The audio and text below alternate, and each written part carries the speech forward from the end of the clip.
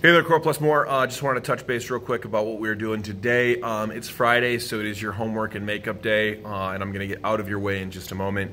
I do have a couple of quick reminders, though. I have a small list um, that has several names on it. I shared this out already on Google Classroom, and you got emails from Ms. Braun that you need to fill out your um, electives for second semester survey. It's a Google form, should take you about a minute.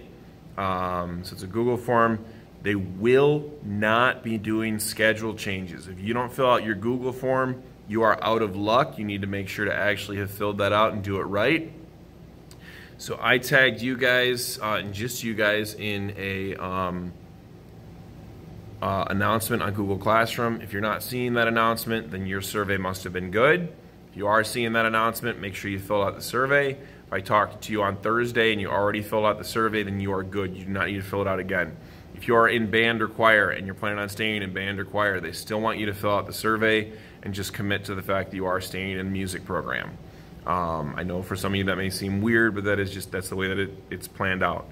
Um, second thing, of course, a reminder that you need to make sure to be turning in your work. Um, I cannot tell you how many people have not been completing Achieve 3000 activities correctly. There's no turn in on that we should be doing activity and scoring a 75% or better. Uh, and I'm seeing people that uh, there's nothing. You need to make sure you're doing that activity, not just a crossword puzzle or a word search. You got to read through the article and then do the activity where you have to answer like five questions at the end. You're looking to score a 75% or better. Um, and then the other thing, a lot of you I know do your hero and grades and um, you know your, your, your check thing on Wednesday. The problem is you get it done and then don't actually turn in. I know it's on Google Classroom. It's like, but Neiweem, can't you get at it? Yes, I can.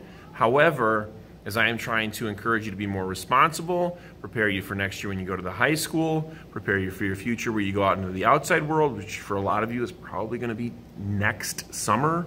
So not summer 2020, but maybe summer 2020, um, but definitely probably by summer 2021. I want you to be prepared to be out there and understand you got to turn this stuff in. You know, if you're out and you're working a job, you can't just fill out your time card and hope for the best. You got to actually then go turn it into your boss. Um, you got to actually sign on the line. You know those kinds of things. Um, so that is why I push you to do better. If you're in my science classes, uh, which all of you are, you've already heard me comment on how the push to do better is actually improving grades there. Uh, and so I'm going to push you to do better here in core as well. It is Friday. I said I'm going to get out of your way pretty quickly, so here's me getting out of the way. Homework, makeup work, anything that I just mentioned, make sure to get it done. Happy Friday. Talk to you on Monday.